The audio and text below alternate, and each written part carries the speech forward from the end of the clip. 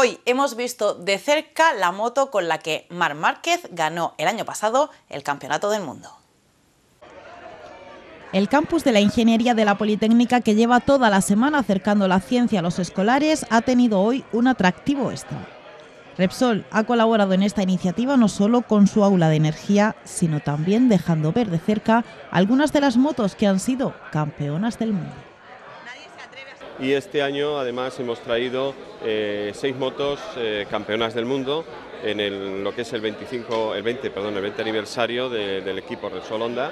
Y bueno, pues eh, una oportunidad de que los alumnos, las personas en general que visitan este, e, e, este campus, pues puedan ver cómo la tecnología, cómo la, ingeniería, bueno, pues eh, al servicio del mundo de la competición, pues genera estas magníficas motos que además han sido todas eh, campeón del mundo.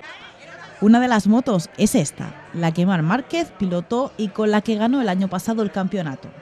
También está la de Stoner de 2011, la de Nicky Hayden de 2006 o la de Valentino Rossi de 2002. Todas estas motos utilizan, como no, carburante de Repsol, algunos de los componentes de ese combustible ha salido de escombreras.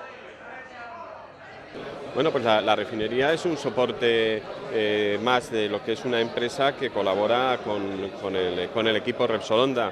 Nuestro centro de tecnología eh, en Repsol eh, es quien colabora directamente y, los desarrollos que ellos diseñan pues al final tienen que ser puestos al, servicio del, equipo teniendo en cuenta eh, algunas de, las refinerías, en concreto, bueno, pues algunos de los componentes que utilizan los combustibles de, de estas motos pues son fabricados en Cartagena.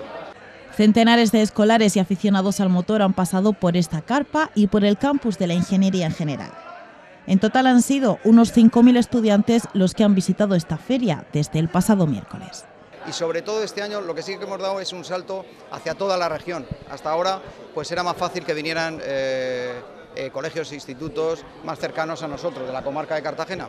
Pero bueno, esta es una universidad eh, al menos regional, es una universidad de, índole nacional, pero al menos regional, entonces deben conocernos en toda la región y también era un interés de esta, de esta feria pues el, proyectarnos hacia otras localidades de las que han venido bastantes visitantes.